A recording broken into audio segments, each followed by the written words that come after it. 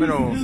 José Vargas, jugador de Municipal Grecia, bueno, lamentablemente no se logra sacar los tres puntos. ¿Por qué el equipo cambia tanto de un tiempo a otro? Porque el primer tiempo prácticamente lo controlaron de principio a fin, inclusive Santos no llega a- a la- al marco de Kevin Reese y el segundo fue todo lo contrario, ¿verdad? Sí, eh,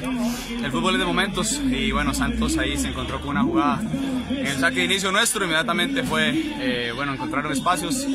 y nos anotaron muy rápido, en un minuto, si no me equivoco, fue el gol, entonces eh, por supuesto que el gol es un condicionante del partido, el segundo tiempo para nosotros, obviamente sabíamos que con el ingreso de, de iban a, a realizar un juego todavía más directo. Y a pesar de- del gol, siento que igual manejamos por la estatura que tienen ellos bien el, balón arriba, pues por supuesto, el partido se nos complicó después de ese empate, queríamos eh,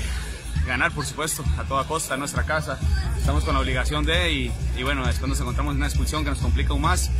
sin embargo eh, el esfuerzo de los muchachos, de mis compañeros es, es, es brutal, Eh, yo los quiero felicitar y de esta vamos a salir y vamos a salir adelante y muy bien. Ahora viene el domingo universitario, es una final prácticamente para, para ustedes y para ellos también, para salir de esa zona de peligro, para meterse también en zona de eh, avanzar en la tabla de posiciones, ¿verdad? Todos los partidos son finales. Por supuesto que sabemos que la UCR ahorita, bueno, la U Universitario es un rival directo y